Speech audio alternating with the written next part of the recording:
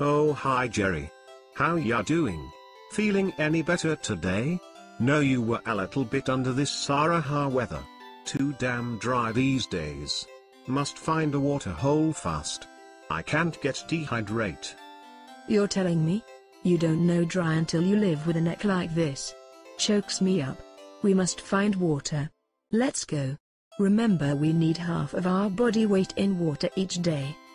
How did you learn all the stuff you talk about Jerry?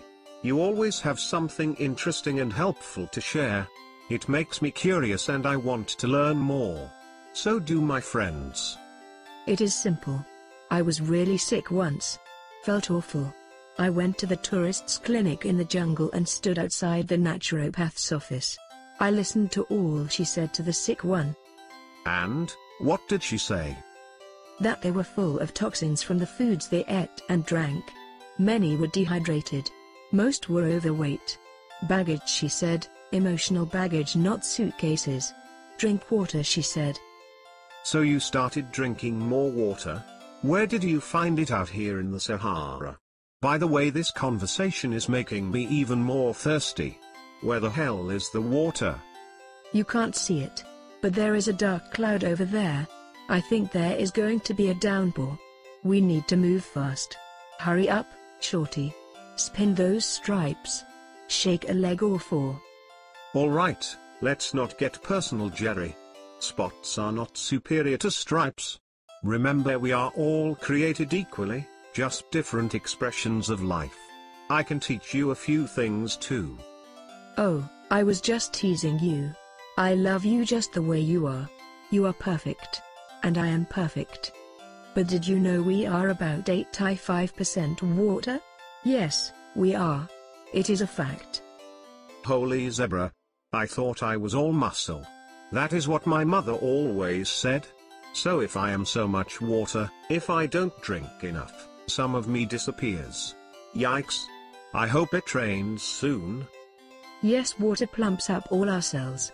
It carries food and nutrients into our cells and carries toxins, or waste materials out of our cells so we can run across the fields and desert.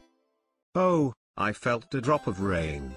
I am going to stop talking and just open my mouth and catch as many raindrops as possible. I prefer clean water to muddy myself. How about you? Clean water of course. The naturopath told the tourist to filter their water. She said, either by a filter or be the filter. I don't want to be a filter for toxins in this jungle. Me either. Where can we get a filter around here? That radiantly healthy-looking female tourist with the great long legs mentioned that she had a connection. I'll do a little rubbernecking and see what I can find out.